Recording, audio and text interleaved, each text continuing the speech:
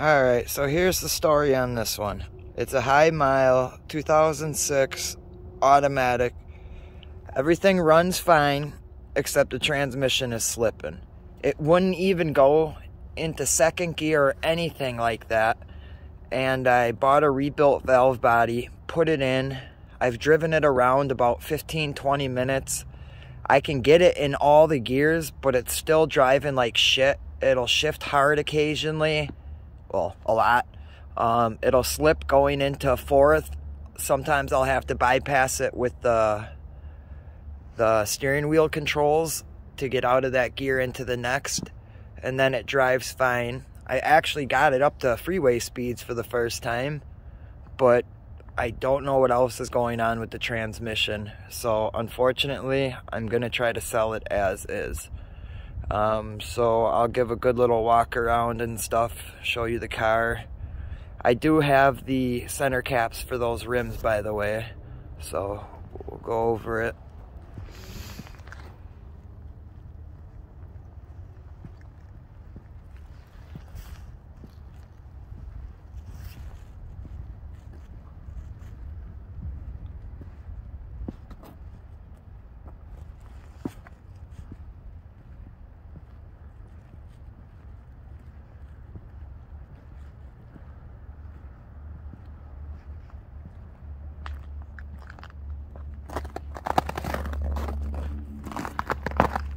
Chips of paint right there, unfortunately. Otherwise, the hood would be perfect.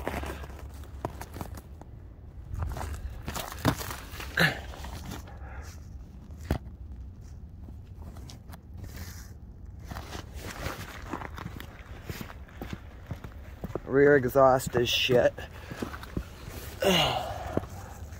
As you see. It's not leaking, but that thing rusted off the outside of the muffler. Otherwise, the rest of the underbody's good.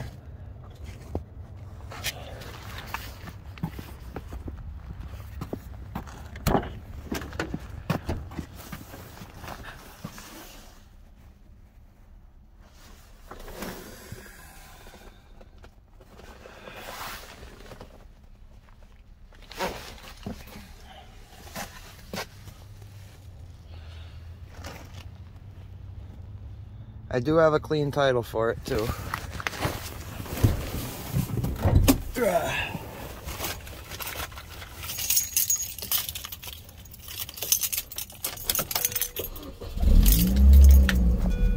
As you see, I was driving it for a while. Doesn't overheat, nothing.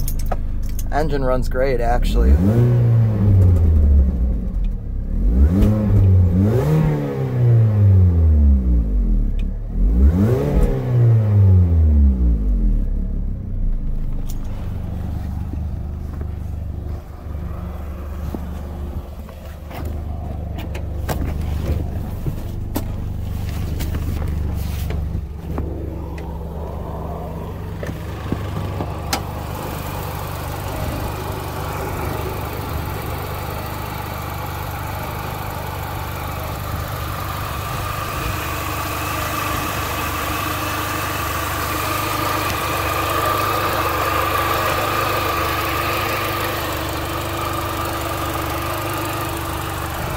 As you see, it's got a lot of good parts on it yet. I just don't have the time.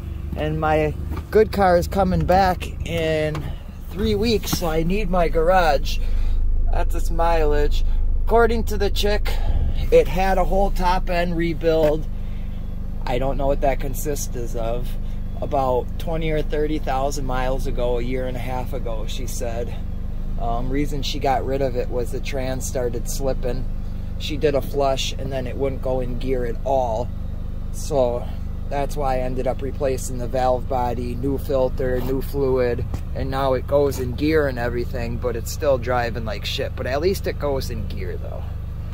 Um, so that's where we're at with this. Uh, I figured take it as it is. 1200, everything goes with it. Let me know, guys. Stay safe, motor on.